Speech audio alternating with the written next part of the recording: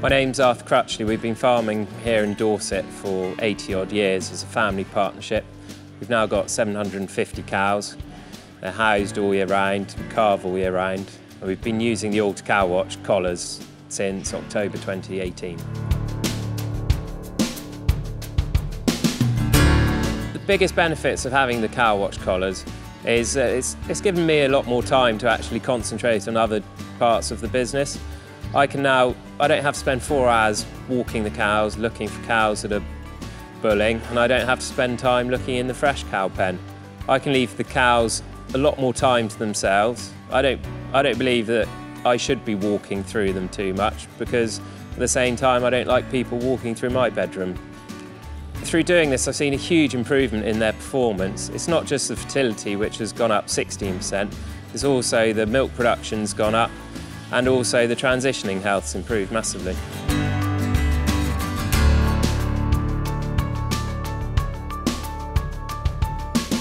So one of the key benefits I've seen from the reproduction with these cow watch collars is that I'm now getting better repro using less hormones.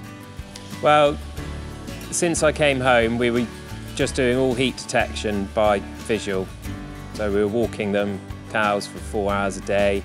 We were struggling to raise our preg rates. We were stuck at around 14%.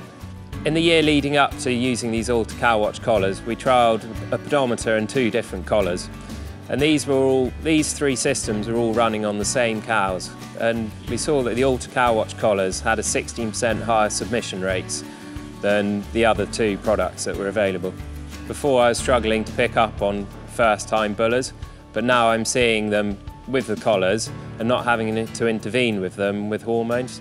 And we've now raised the preg rates up to 30%. So every morning I have a look at the heat activity so I know which cows I need to AI. And then I also, importantly, check all the health reports. It produces some very good information on eating, rumination and inactivity, which I can base my health checks on. So I just go off the health report on the cow watch system and any cow that comes up as a low on eating, rumination or high on inactivity, I'll then look at her and give her a health check.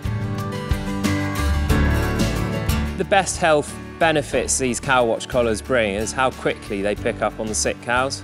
So a mastitis cow will often be detected before her udder changes how hard it is or the, what the colour of the milk is. So toxic E. coli cows will be picked up before, before the watery stage ever comes close to that.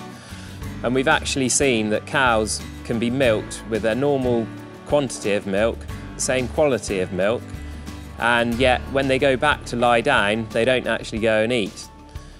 And we've seen that they haven't got up to eat before the next milking.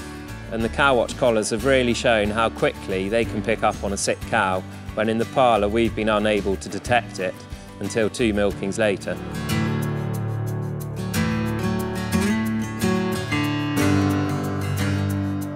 The best day management changes that I've had are antibiotic usage. So I try to be quite progressive and reduce the amount of antibiotics I use on the farm. And this has really supported these decision-making times because if a cow's eating and drinking, I won't, I won't want to give her any antibiotics. So the most healthy benefit of a cow is how much she eats. There's a really good tool on the cow watch system which will show me each individual group how much that group has been eating as an average throughout the day. And if there's been any problems with the feeder wagon, I can then see how much they've eaten the previous day. So this is a good management for me to understand have they run out of food too early? So I always like to give them 5% to 10% extra feed every day. And if so, then I can speak to the feeder wagon operator to know that he needs to up the, up the feed for that group.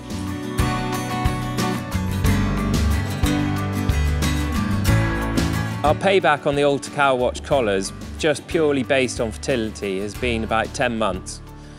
And that's excluding all the health benefits. And where we've saved massively on antibiotic usage, I'm sure it's much quicker than that. I would hate to go back to the days of not having these cow watch collars. If I roll back the years to when I was walking, walking the sheds morning, noon and night, it wasn't, there wasn't much of a life for me when I was after supper I'd come up here and spend an hour looking to see who's bulling. And I didn't have the results with it, so I would massively miss them. I think the Alta Cow Watch collars really have to be highly recommended to any farmer. From the benefits I've seen, I think I can only wholly support anybody making that decision to buy them.